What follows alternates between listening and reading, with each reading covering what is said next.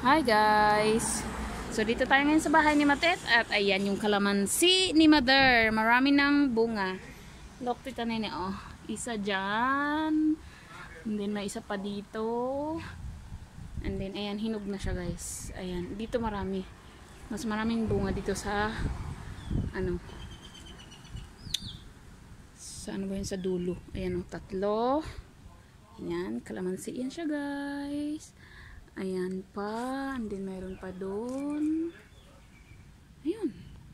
Diba? Ito naman, ano to siya guys? Star apple. Ah, hindi. Ah, ano ba yun? Nakalimutan ko na. Tambis. Ah, hindi. Ano ba yun?